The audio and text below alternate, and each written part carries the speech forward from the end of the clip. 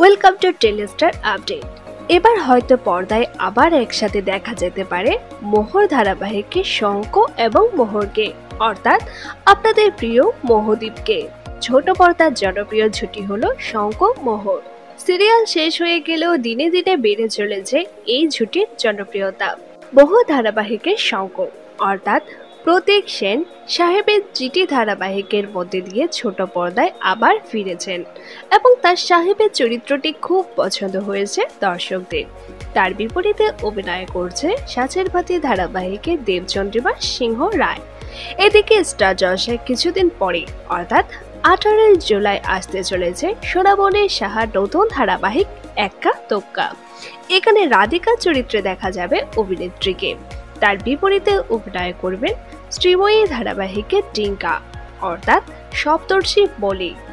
মোহ সিরিয়াল শেষ হওয়ার পর প্রতীক সোনামণি ঝুটি ভেঙে যায়। তাই দর্শক মহলে তাদের জনপ্রিয়তা কিন্তু একটুও কমেনি, আরও বেড়েই চলেছে। তারা আশা নিয়ে বসে আছে, হয়তো এই দুটি সিরিয়াল শেষ হলে আবার হয়তো এই ঝুটিকে দেখতে পাবে। তবে এবার হয়তো মোহদ্বীপের ফ্যানেদের জন্য একটি সুখবর হতে চলেছে।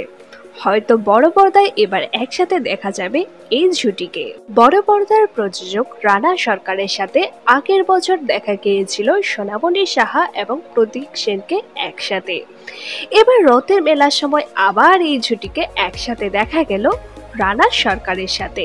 রথ উপলক্ষে প্রযোজক রানা সরকারের বাড়িতে রথের পূজায় নিমন্ত্রিত ছিলেন অভিনেত্রী সোনামণি সাহা এবং প্রতীক সেন।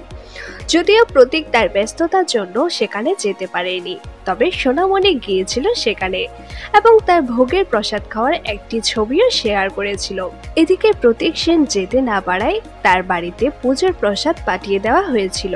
সেই ছবি অভিনেতা পাঠিয়েছিলেন প্রযোজককে। আর প্রযোজক রানা সরকার এই দুটি ছবি একসাথে কেটে তার প্রোফাইলে শেয়ার করেছিলেন। আর প্রযোজক জানিয়েছেন, প্রতীক সোনামণি দুজনেই আমার খুব ভালো বন্ধু। তাই তিনি যান বড় পর্দায় একসাথে কাজ করতে। হয়তো এবার বড় পর্দায় একসাথে দেখা যেতে পারে এই ছুটিকে। অফিসিয়ালি এখনও কিছুই ঘোষণা হয়নি। তবে মনে করা হচ্ছে একসাথে ঝুটি বাঁধতে চলেছে মোহর এবং শঙ্ক। আপনারা কারা কারা মোহর, শঙ্ককে আবার একসাথে ঝুটি হিসাবে দেখতে চান তা নিজে কমেন্ট করে জানান। এই ধরনের আপডেট আরও পাওয়ার জন্য চ্যানেলটি সাবস্ক্রাইব করে পাশে থাকা বেল আইকনে ক্লিক করতে ভুলবেন না। বন্ধু বান্ধবদের সাথে অবশ্যই শেয়ার করবেন।